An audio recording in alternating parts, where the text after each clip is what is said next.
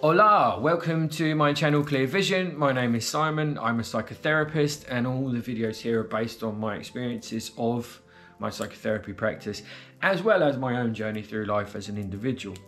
As always, please like and subscribe to the channel, it does help, and leave any feedback in the comments section below the videos. I'm always up for a debate, and, I'm all, and I try very hard to um, respond to everybody's comments. This week's video comes, it's, it's not going to cover everything I want to cover in this subject, but it kind of covers the uh, something I get asked a lot in the room, which is how do I get from here to a better place? And it's a very, very vague request, ultimately. And so my answer is always the same, and it doesn't matter whether it comes from suffering uh, from someone who has experienced, say, let's say, domestic violence, domestic abuse, um, addiction issues, uh, existential issues, career issues, marital issues, relationship issues, family issues, anger issues, lack of emotion issues, being cold issues, being numb. It doesn't matter. What most people are aware of is that where they are right in the here and now is not a place that they want to be. And then most people, when they come to me and say this kind of thing during their therapy, it's coming from a place of also I've been doing this for a long time. So the first thing is, and it's I think it was um, Einstein's paradox, you know, to that it, it's kind of foolhardy uh, to uh, keep continuing the same patterns and expecting different results. And at some point, most people become quite aware of this. You know, I keep doing the same thing. This keeps happening in my life. I don't want to be in this position anymore. My whole world's come crashing down, but I and I want to make it better.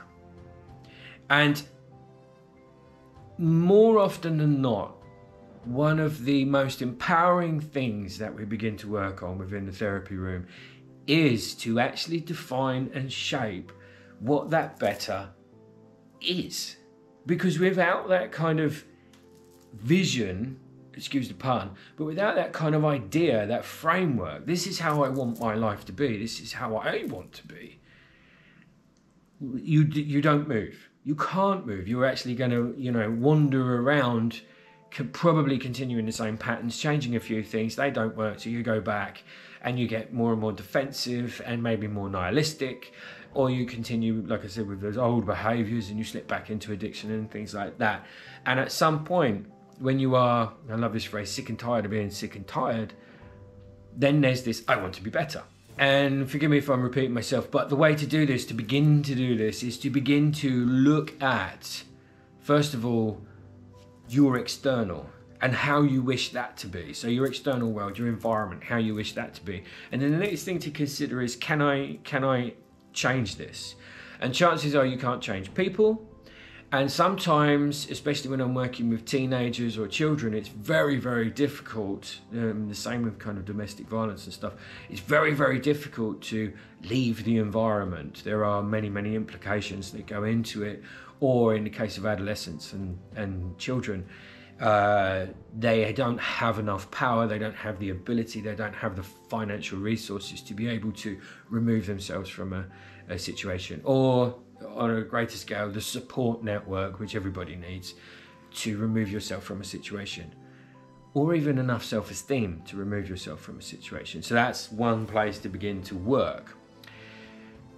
Once you have looked at that and decided what you can control in it and what you can't, what you can change and what you can't, then you can also more powerfully begin to work on the self.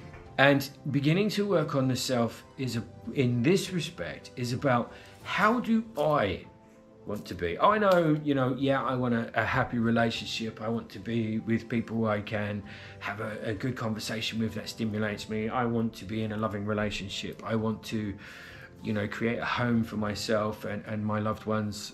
All of these things externally. I want to be financially secure. All of that stuff is fantastic um, you know, in a less dysfunctional relationship, all of these things. Less stress, less whatever, whatever.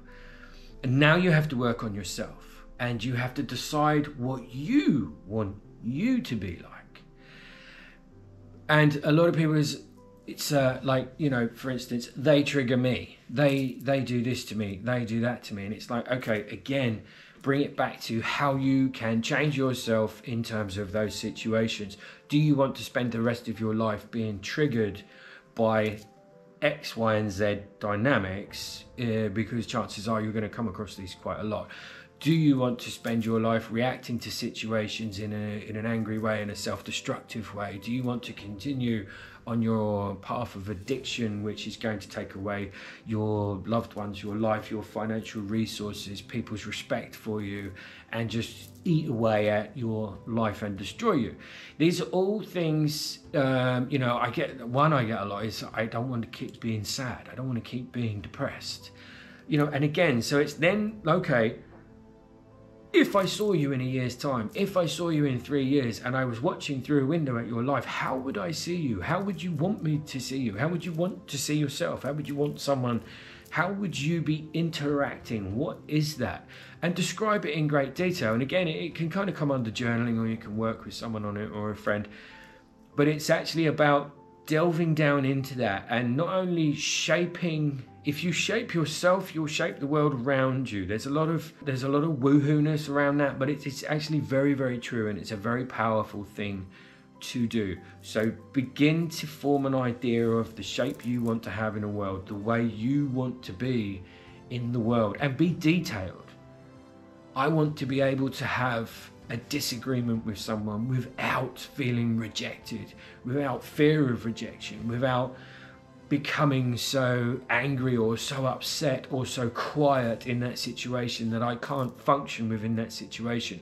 I want to be able to progress forward in my career and, and shine and, and learn more and prove my attributes. Well, what have you got to do for that? Well, maybe I've got to put myself forward. Maybe I've got to develop more self-belief so my future self would be more confident, more more confident in social situations, more confident in this situation, more loving in my relationship, more aware of what the other person's thinking.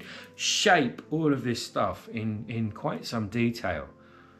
And then you take the necessary steps. You begin to work towards being that. And, and a big part of that, actually achieving this, is, is this initial part, forming it. Because without that kind of vision ahead of you of what you want to be, how you want to be, and what you want for yourself from the external, which is almost secondary in this process. Without that, you are wanderingly wandering aimless aimlessly. There is no aim. There's this vague notion of an aim but without once you have this specific and be adaptable be flexible with it. Don't be rigid with it because that will bring you more pain. When it because inevitably there will be challenges along the way. There will be problems on your route. There will be struggles on your path. So be adaptable and you might even change your mind you might change you might the changing your mind on the external might change your mind on the internal. So always be open but without that initial framework that adaptable flexible framework which you can change which you need to build first you can't move forward. Once you have that you begin moving forward you begin adapting and also when you do that you can see potential pitfalls along the way potential problems, potential resistance that you might have, potential situations where it might look like you've not quite achieved what you want to achieve. And then you can kind of prepare yourself for them and decide what you're going to do in those situations.